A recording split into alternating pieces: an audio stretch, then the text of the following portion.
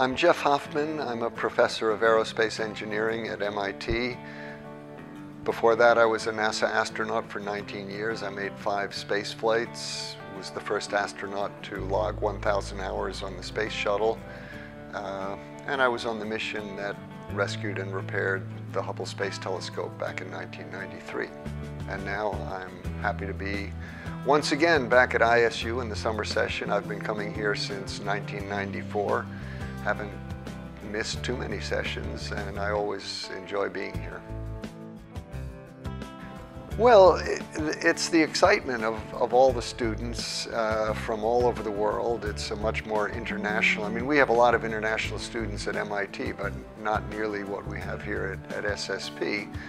Um, and the lectures that I give here are different than the lectures that I can give at MIT. So it, that, that's also fun. I, I give different lectures. This, this year I've only given two because it's a fairly short visit, but I've probably given six or seven different lectures during the time that I've been at coming to ISU SSP, and, uh, and it's always fun. And the experience you get working in an international environment here at SSP is very, very applicable to the sort of international work that you end up doing in professional work. So it's, it's excellent training, um, both linguistically for non-English speaking people who get a chance to work in English, and it's good training for native English speakers to learn how to speak slowly and clearly, something that particularly a lot of Americans tend to forget in the excitement of speaking fast.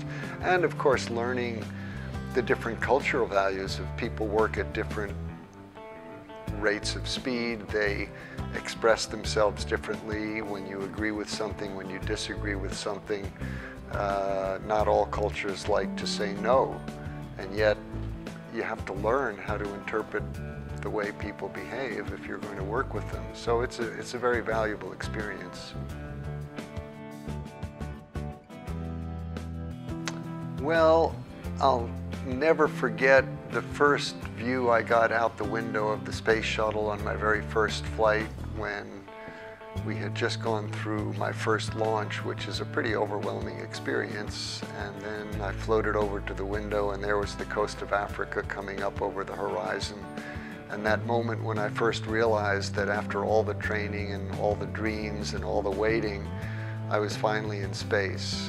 Um, I've been very fortunate in my career. I mean, I have so many happy memories. Uh, you know, another one has to be when we came back from our fifth and final spacewalk of the Hubble Space Telescope rescue mission and realized that every single thing which we had set out to do, we had been successful in doing.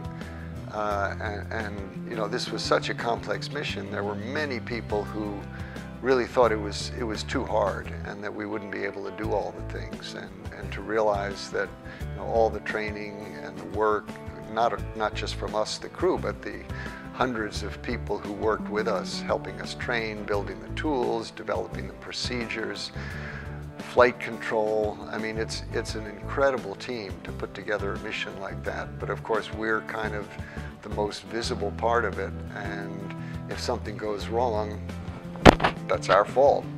And so when everything went right, it was a really good feeling. Well, um, many people come here because they are excited about space. Uh, people are excited in different ways. I mean, probably most people would like to be an astronaut as well. I mean, everybody would like to go into space and, uh, you know, certainly go for it, you know, try. But there's so many things going on in space and and um, you know there was a time when when people were a little bit um, pessimistic about our future. Uh, you know we had been to the moon and then we stopped and the shuttle stopped flying and I think there's a lot of exciting times ahead. New things are going on in space and we need excited people and also people who can think internationally in a multidisciplinary way, and that's exactly what we're doing here at, at ISU. So, I mean, that's the message. And it's nothing new, but following your dreams and you know figure out what you really want to do in life, how you can make a contribution, uh, because there's many aspects of space development, uh, not just humans flying in space, but all sorts of industrial, commercial, uh, entertainment uses of space, and uh, a lot of excitement. Be part of it. Follow your dream. Make it happen.